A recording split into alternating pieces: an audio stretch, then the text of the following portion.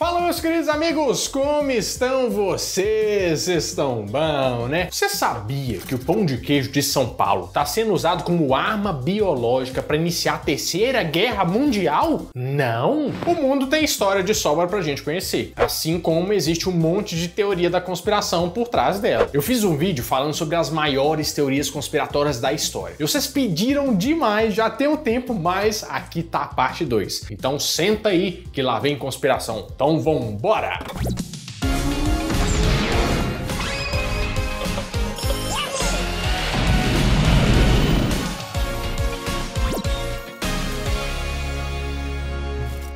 Todo mundo tá careca de saber como que foi a Segunda Guerra Mundial, né? Que aconteceu lá entre 1939 e 1945. Aí tem alguém assim, o quê? Teve guerra? Mas como assim? Eu respondi isso no Enem. O personagem mais marcante dessa época, não por bons motivos, foi o Adolf Hitler, que comandou a Alemanha durante a guerra. Só que ele perdeu a guerra e conforme os inimigos dele adentravam a Alemanha, ele foi ficando sem ter para onde correr e decidiu se suicidar-se a si próprio, a sua própria vida, né? Assim como a esposa dele na época. Ele com um tiro e ela com uma cápsula de veneno. Uma coisa meio poética, assim, né? Os soldados que estavam lá naquela noite tinham uma ordem muito clara a ser seguida: levar os corpos de Hitler e da esposa dele para uma vala onde eles deveriam atear fogo para que os aliados nunca tivessem o gostinho de ver ele morto, e assim foi feito. Eles encharcaram os corpos de gasolina dentro de uma cratera feita para bombas e lá eles foram carbonizados. Porém, existe a teoria de que tudo isso foi forjado e que o Hitler, na verdade, teria fugido das tropas tropas soviéticas e vindo parar no Brasil, e mais especificamente no Mato Grosso. Essa teoria é levada muito a sério pela jornalista Simone René, que investigou essa história durante o seu mestrado e acabou lançando um livro sobre o tema chamado Hitler no Brasil: dois pontos, sua vida e sua morte. É um título ok, né? Eu não clicaria no YouTube, mas lutava pela supremacia da raça ariana. Não seria um bom esconderijo no meio dos quilombolas?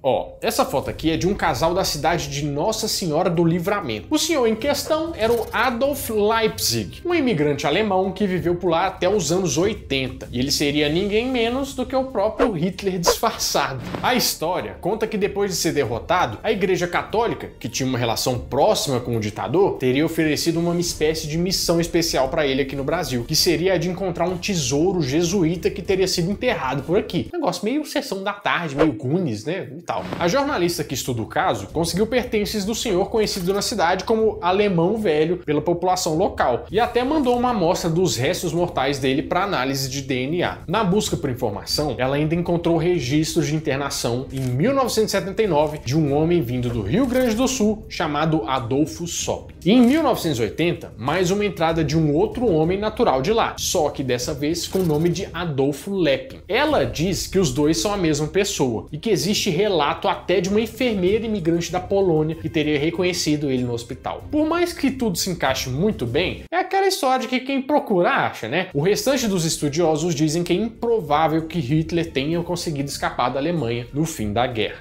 umas teorias meio doida, né? Mas assim, até que faz um pouco de sentido, né? O que, que você acha? Põe aqui embaixo nos comentários que eu quero saber.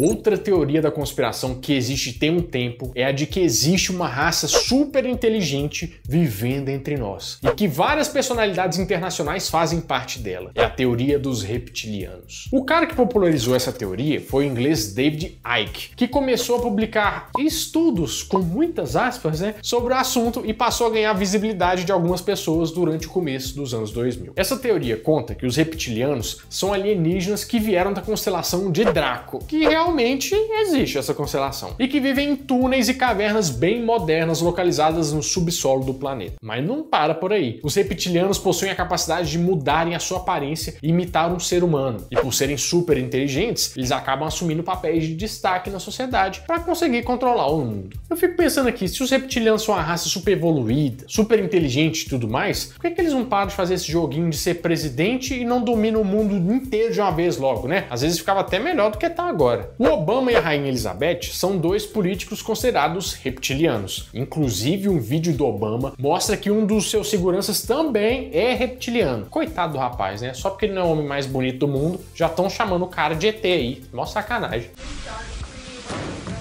Esse é o mesmo cara que defende a existência dos Illuminati e os reptilianos teriam tudo a ver com isso, já que fazem parte dessa cúpula que controla a humanidade. Então, quando você conhecer alguém, presta atenção se ele não tem uma língua bifurcada, uma cauda, alguma escama no corpo, né? Que pode ser um lagartão disfarçado. Ou então aquele bicho do filme do Mario que é um, uma cabecinha. E no dia 12 de julho de 1998, o Brasil chorava de tristeza depois de perder a Copa por 3 a 0 contra a França. Você lembra? 3 0 para a seleção brasileira. Aquela última partida foi muito esquisita mesmo, né? O Ronaldo tinha passado mal, ia ser substituído pelo Edmundo, mas depois ele mesmo que entrou em campo, e o time que chegou na final fazendo gol doidado não fez nem mais um golzinho, né? Deixou o pessoal encafifado. Para ajudar, logo depois da derrota, a página da CBF foi hackeada e um texto denunciando o esquema selado por Brasil e França ficou no ar por dias e foi repostado em blogs da época e mandado por muita gente através dos e-mails. A internet ainda estava começando ali em 98, né? Mas mesmo assim, isso pode ser considerado a nossa primeira grande fake news brasileira. Os boatos de corrupção envolvendo a CBF começaram a pipocar alguns anos antes e a desconfiança já estava grande. Mas tudo isso não passa de uma mentira bem contada. De fato, a CBF é a instituição mais honesta do mundo, né? Mas esse esquema de 98 nunca foi um dos escândalos verdadeiros dela. O texto afirmava que a comissão técnica e os jogadores teriam recebido mais de 23 milhões de reais para topar o acordo e que em 2002 a vitória seria nossa. Só que tudo não passou de alguém querendo trollar todo mundo ou que ficou bravo com o resultado final. Nada nunca foi comprovado. Os nomes envolvidos na denúncia eram de pessoas falsas, tipo um representante da Nike que estaria no esquema, também chamado Ronald Rovald, e que nunca existiu de verdade. No final das contas, se fosse para pagar a CBF CBF para fazer alguma coisa que fosse a respeito do 7 a 1 que realmente foi de doer. É o gol da Alemanha.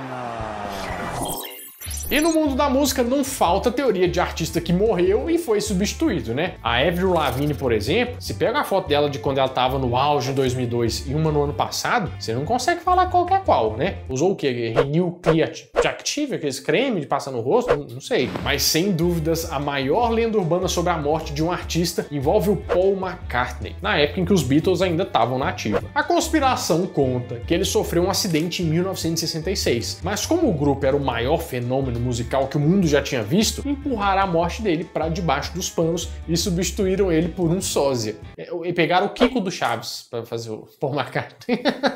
Tudo começou quando Paul sofreu um acidente de moto em 1966, que não rendeu nada além de um corte no lábio e um dente quebrado. Só que isso foi bem perto de uma pausa que os Beatles fizeram com a turnê deles. Eles tinham lançado um álbum Revolver e não seguiram shows ao vivo porque na época não tinha infraestrutura para tocar todos os arranjos que eles tinham feito em estúdio. No ano seguinte, em 67, começou a pipocar uns boatos de um sósia perfeito do Paul McCartney chamado William Campbell, que substituiu o cantor para que a banda conseguisse cumprir um contrato milionário que eles tinham com a gravadora deles. Daí um rádio comenta que um jornalzinho faz a matéria ali, né? E de repente o mundo inteiro passa a procurar pistas sobre a morte do cantor. E mais uma vez, quem procura acha. No próprio álbum Revolver, dizem que a maior prova é a capa que não tem uma foto deles, e sim um desenho, que era para dar tempo de achar um sósia. Mas o povo, as, as histórias, né? Em 67, a capa clássica do Sgt. Peppers seria tipo um funeral, com os membros olhando pro chão que tem um canteiro de flores formando um baixo, que era o instrumento que o Paul tocava. Que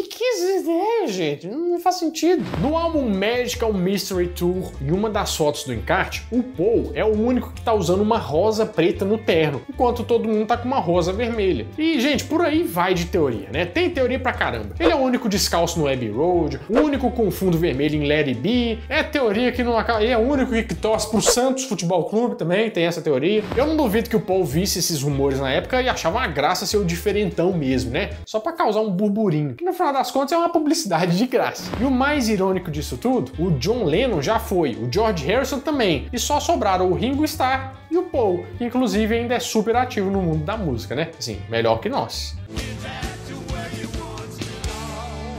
Você tá que ri aí, né? Eu tô te vendo rir. Você tá vendo como é que é divertido, né? Show? Então inscreve que eu sei de segunda a sexta vai ter diversão garantida, tá? E também um pão de queijo de vez em quando. Às vezes, aceita. E talvez o dramaturgo mais famoso do mundo seja William Shakespeare. O cara é lembrado até hoje com seu Romeu e Julieta e a frase ser ou não ser, eis a questão, que tá na peça Hamlet, né? Mas tem gente que diz que o Shakespeare, na verdade, nunca existiu. O lance é que apesar de ter deixado um monte de coisa escrita, não tem nenhum relato da vida pessoal do Shakespeare, o que é estranho para uma figura histórica tão popular assim. Outra coisa estranha é que não existem manuscritos dele em lugar nenhum. Tá passada? Muitos atribuem esses textos a ele, mas não é consenso, e ninguém sabe como é que era a caligrafia dele, a não ser por seis assinaturas em documentos. Mas até elas parecem diferentes umas das outras, sabe? É um negócio meio suspeito. E dentre os poucos registros da vida dele, que viveu na Inglaterra entre 1564 e 1616, é que ele frequentou a escola por poucos anos. E isso não condiz com as coisas que ele escreveu, ricas em política e sociologia, sabe? Existe uma teoria que o Shakespeare foi um nome criado por um grupo de escritores da época que não queriam se identificar para não sofrer nenhuma represália. E por isso podia escrever do jeito que queriam e sobre o que eles queriam. Outra teoria diz que ele era o pseudônimo do conde de Oxford, chamado Edward de Vere, que foi um nobre bem estudado e muito viajado que viveu mais ou menos no mesmo período. Tem até uma instituição chamada The Vere Society, que estuda e tenta encontrar provas disso pelos últimos séculos, mas até agora nada, né? E se tá escrito no livro que é do Shakespeare, quem sou eu para falar que não, né? Bom, meus amigos, é isso. Eu espero que vocês tenham gostado bastante desse vídeo. E ó, vai ver a parte 1 que ela tá bem interessante, tá? Mas tem outros, outros vídeos no catálogo pra você ver também, que você vai gostar. Bom, eu vou ficando por aqui, mas toda semana eu volto com mais um vídeo quentinho, fresquinho, crocante pra vocês. Então, adeus!